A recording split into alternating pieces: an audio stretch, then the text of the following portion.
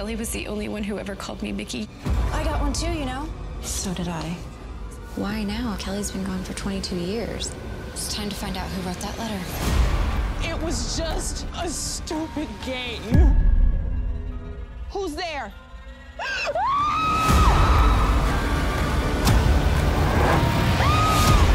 We'll all be sisters forever, ever, ever.